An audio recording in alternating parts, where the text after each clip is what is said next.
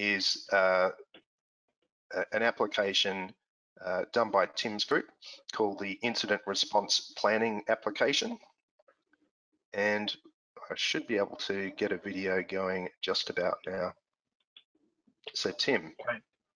can um, you see that okay? I, I, can see that. So for um, our, our roads maintenance crews, when, when there's roads that are closed, um, via different events, they have to bring out an incident response plan, which are currently paper-based plans, which are in huge folders, that they have to uh, pull out of the back of their truck to put the, the detours in place. And so these, these plans show where the detours go and what they need to do to close a road. So we digitized this and turned it into an app so where um, employees can find the section of road that they need to close. They can see on a on a map where the um, the detour is, where to put the signs in, what signs they need, whether they need traffic control as part of this detour, um, you know, right down to the which way the, the arrow should point on the sign, um, and whereabouts on the road that they need to put it so that that they can very quickly and easily put in um, a detour for a, a, section of our the roads that we manage.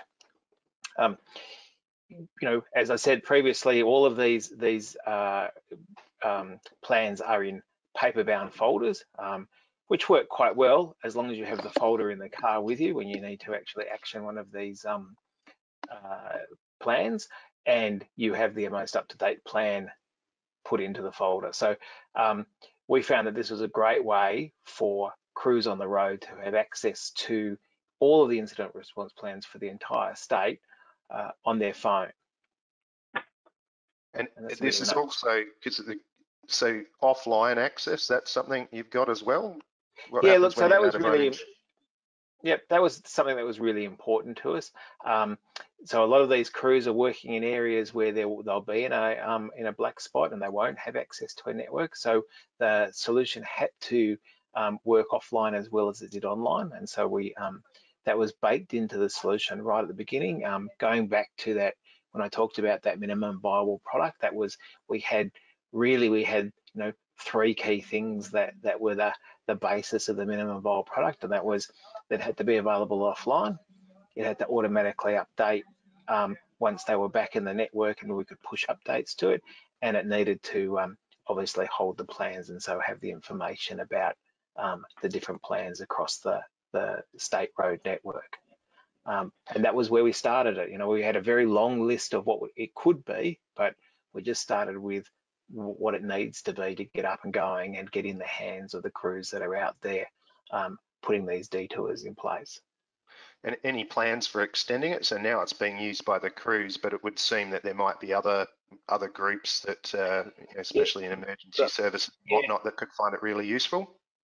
Yeah, look, absolutely. So both internally, so we have, so this is this is aimed at our regional maintenance road crews.